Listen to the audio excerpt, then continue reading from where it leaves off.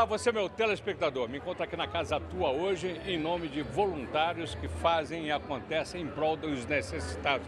Eu estou com a doutora Filó, que tem um outro nome, mas todo mundo só a conhece como doutora Filó. Qual é o nome inteiro, Filó? É, revela, vamos começar por aí, né?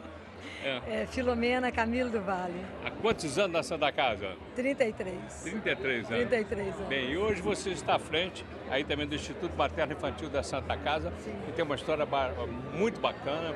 Você acabou de falar ali e envolveu aqui, junto com a Cristina aqui, muita gente aqui, com toda a direção da Santa Casa também.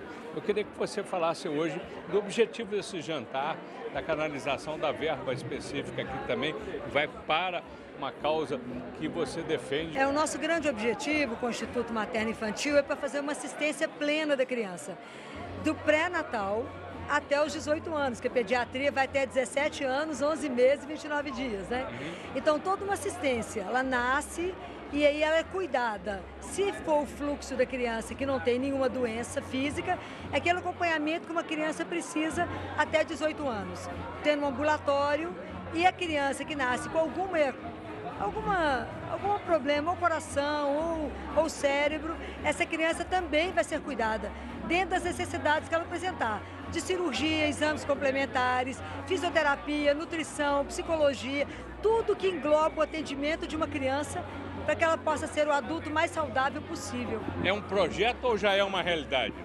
Por enquanto um projeto, um porque projeto. É, a Santa Casa faz esses trabalhos é, que não, não estão juntos, não é? Porque nós não temos a sequência desses meninos, que a gente perde eles. Não, é muito investimento e depois a, a criança se perde na rede pública. Nós não podemos deixá-la perder. E a gente sabe também, independente da demanda vinda de Belo Horizonte, vocês atendem, a Santa Casa acaba que é, é, afunila ali toda a carência de, de atendimento a crianças, independente de demais, para o atendimento do interior, não é isso? Sim, a Santa Casa hoje ela atende 80% do interior, né? Então, assim, o interior de Minas todo vem para cá. Os casos complexos, claro, né? Vem sempre para cá. Cirurgia cardíaca é uma referência, neurológica, né? É, questão renal, a, a, parte oncológica, né? Então, Santa Casa é um universo, né? E aí, é você, nesse projeto, você vai ter que ter é, é, especificamente é, é uma arrecadação à parte do que recebe do, é, do INSS? Com, como é que é assim? A, a princípio, para reforma, né? Tá. A princípio. Ah, você precisa reformar o quê? Uma ala? São várias alas, né? São, eh, nós vamos começar pela pediatria toda, a parte da cirurgia infantil, oncologia, eh, oncologia, cirurgia pediátrica, cardiologia, a pediatria, o CTI de baixo, que precisa ser melhorado. Então tem uma área grande que precisa. E tem a parte dos ambulatórios para serem montados. Os consultórios para o atendimento de ambulatório e as salas de fisioterapia, terapia ocupacional, fono, nutrição, sala de vacina, é muita coisa. E, e, e para concluir, para é, materializar, o que, que precisa de verba? Verba independente do que já recebe a Santa Casa, é sim, é isso? Sim, é isso? Isso, precisamos. E aí o apelo aí a comunidade é, que participa de que forma? uma coisa que nós vamos, vai ter o site do, doação, tem a conta e com uma total transparência, né? Nós queremos, essa conta é a parte onde a, nós vamos fazer prestação pública para a sociedade do que, que arrecadou e do que está sendo construído. Tá. Porque a gente não pode só parecer honesto, né? Temos tá. que ser honesto, né? E hoje, essa noite eh, já é uma primeira primeiro passo aí exatamente para uh, mostrar o pelo menos o... as pessoas possam conhecer isso, né? As pessoas possam saber que existe isso, né? Através da mídia aqui da também. mídia, que as pessoas possam saber que há um desejo de fazer um atendimento para o paciente do SUS o mais completo possível. Parabéns, que Deus lhe guie e que você consiga sensibilizar aí a comunidade num todo aí em prol das crianças. Eu sou pai, eu sei que é pai de criança na terceira idade, mas é que isso bom. aí. Que Deus abençoe. Okay. Ah, obrigado, obrigado.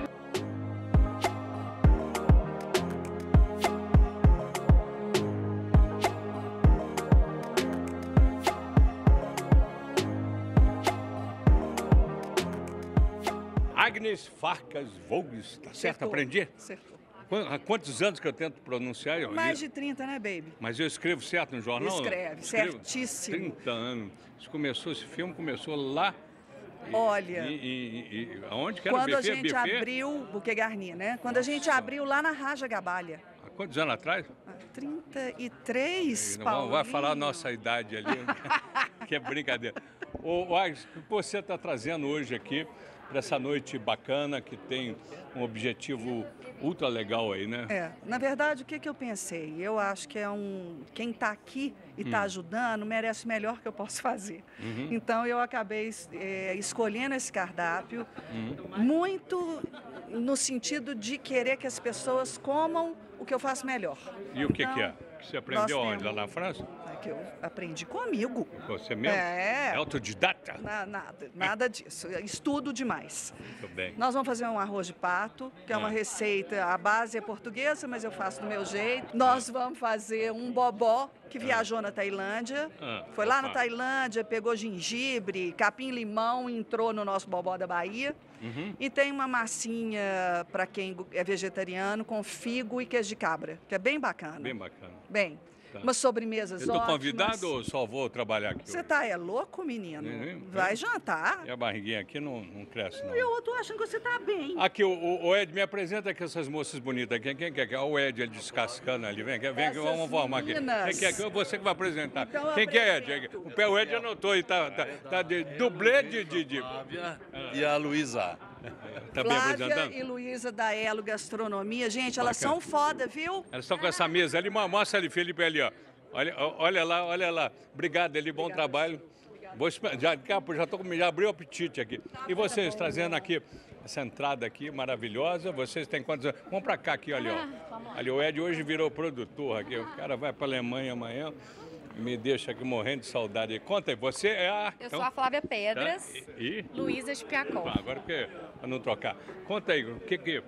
na, na, na boa mesa hoje. Então, nós trabalhamos com a estética da mesa Ah, ah. para ficar mais bonita de comer com os olhos. Olha. Né? Esse todo é o nosso propósito, sempre de deixar a mesa de encantar, porque a pessoa tem que olhar e comer com os olhos. É igual depois. olhar para vocês, né? Vocês fizeram uma, uma transferência, é isso? Que gentileza, é isso. Mas e aí, olha, o que, que temos aqui? nós temos uma seleção de terrines, favos de meles com muitas frutas. Antipastos aí. Né? Nós temos uma, é uma ilha gastronômica que nós fizemos.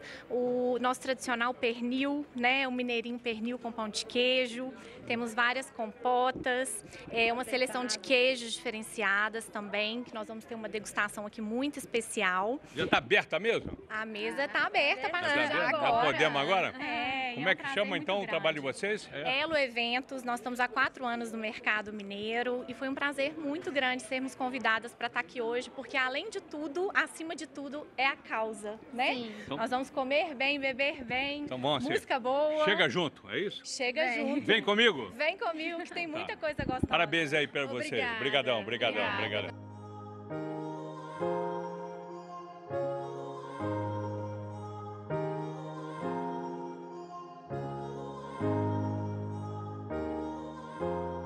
Cristina Coelho fazendo e acontecendo. Cristina, hoje eu fiquei sabendo que é a Titita, não é isso, né?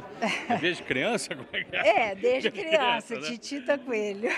Mas desde criança você fazendo arte no bom sentido, ajudando, solidariedade. Você está à frente aqui da organização desse jantar, diga-se passagem, primeira vista que estou vendo aqui a beleza aqui na casa tua. Mas fala um pouquinho o que, que é essa, essa iniciativa, esse envolvimento que exige fazer uma festa desse sentido em prol de quem necessita. Né? É, esse já é o segundo jantar Ah. que a gente faz para ajudar a Santa Casa. E agora a gente pretende que isso seja anual. A Santa Casa é, é- precisa muito da ajuda de toda a sociedade, né? E eu consegui parceiros maravilhosos que nos doaram é, o trabalho, o tempo deles e muitos até é, to- os, todo o som, tudo eu consegui de graça para a Santa Casa, para a gente poder mobilizar a nossa sociedade para ajudar a Santa Casa, que nos ajuda há 123 anos. Especificamente na noite 8, é, é, tem uma finalidade é, para o lado infantil, o não é isso? Instituto Materno Infantil da Santa Casa. É, nós precisamos da, de ampliar o Instituto Materno Infantil. Uhum. Então, os recursos serão destinados para isso. Tá. E nós queremos mobilizar a sociedade para que nos ajudem um pouco mais, porque é um projeto muito grande uhum. e a gente precisa de, da ajuda de todo mundo. Agora você vê que uma, é o segundo ano, como você é, uhum. bem colocou aqui, mas você acha que esse sentimento, essa ação, é, é, através de vocês voluntários e outras entidades também que fazem o mesmo trabalho, o empresariado mineiro ele está correspondendo, entendendo como aí em outros países que essa cultura já é bem, bem praticada, né? É, está sim. Eu acho que tem, tem muitos eventos beneficentes, né? Uhum. E isso é bom. É bom porque tem muito lugar que precisa da ajuda da sociedade. E, estão sensíveis? Eu, hum? estão, muito estão, sensíveis. Estão ficando. Mas eu chamo a atenção hum. porque a Santa Casa está pertinho da gente. Tá. E eu duvido que tenha um, uma pessoa que estiver aqui nessa noite de hoje que um dia não precisou da Santa Casa. Bacana. Ou não teve alguém internado na Santa Casa. Então eu acho que é isso, é a gente ajudar quem está perto da gente. Agora que estou vendo ali uma mesa bonita ali, dá uns créditos aqui para gente aqui. Quem participa hoje? Tem alegria, tem música? Né? Tem muita música e comida muito tem boa. Tem DJ bacana, tem. Tem o Carlos Tem o Cadu também aí, não tem? O Cadu com a orquestra pianíssimo, Opa, que é bárbaro.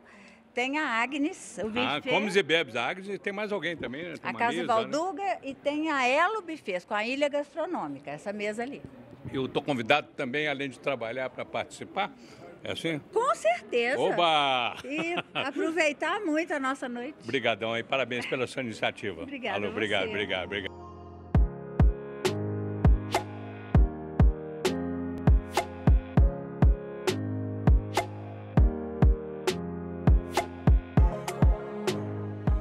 Otto, o nosso provedor da Santa Casa. Roberto, é, ações como essa, é, do voluntariado num todo, é, essa especificamente aí em prol, é, sobretudo do, de, de, crianças, né, de Sim, jovens. Instituto tudo. Materno como é, como é que a ação, que a gente conhece toda a história da Santa Casa, de voluntários somam para o dia a dia da Santa Casa? É muito importante essas ações. Né? A Santa Casa tem 123 anos, e 123 anos de prestação de serviço para a sociedade, graças aos abraços que ela recebe da sociedade. Com o serviço do voluntariado, né? a voz que é, por exemplo, que é um voluntariado que atua no dia a dia da Santa Casa, é de importância assim, fundamental para os pacientes. Né? É a voz que ela, quando o paciente não tem acompanhante, eles fazem o, o acompanhamento do paciente, né? para não deixar o paciente sozinho. E hoje um jantar As embaixadoras esse... aqui também, estão né? vendo a Cristina, etc., Cristina, Filó. Tita, Filó, né, Filó? É a nossa médica lá na, na, na Santa Casa, lá na pediatria. É, e também vem se voluntariar aqui para somar é, esse esforço importante para a nossa instituição. Né? Então, os 123 anos da Santa Casa são graças à sociedade, que vem abraçando ela, inclusive em momentos difíceis desses que nós do passamos incêndio, agora há pouco tempo do incêndio. Né? Ok. Prazer em vê-lo. Prazer é todo meu. meu. vizinho, né? Eu sou vizinho. Saúde, bem-vindo. Saúde.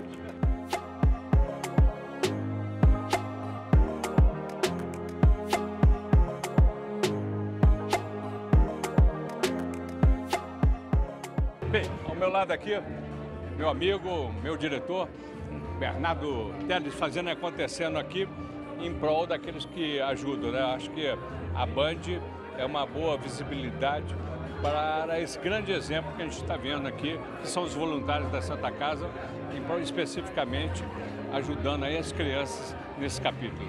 Né? Com certeza, Paulo. É, nós já somos é, parceiros já de muitos anos, estamos sempre apoiando a Santa Casa e não poderia ser diferente nesse momento, principalmente depois do incêndio, de tudo que passou durante é, esse ano aí. Então estamos mais juntos do que nunca e não poderíamos estar deixando de participar nesse momento junto com a Santa Casa. Ok, prazer em vê-lo aí. Bom jantar aí, obrigado.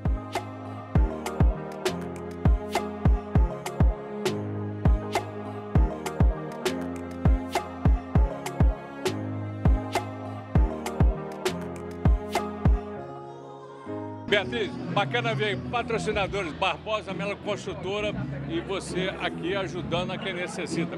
Isso faz parte do DNA de vocês também, né? É, assim, principalmente meu irmão, eu estou aqui representando ele, a Guilherme, família toda, uhum. Guilherme Moreira, realmente uma pessoa que se dedica muito a essa parte filantrópica, que eu acho que a gente tem que fazer a nossa parte. Então, né? é uma noite bonita e com a finalidade é, bacana que, sobretudo, pega exatamente a criança, né? Desde pequena e vai embalando exatamente naquilo que ela necessita. São pessoas necessitadas. Né? É, eu como médica também sou médica, a minha área é dermatologia, então é muito importante mesmo, muito bacana o projeto. Parabéns pela iniciativa aí. Obrigado, é um Obrigada, prazer em vê-lo. Obrigado, obrigado.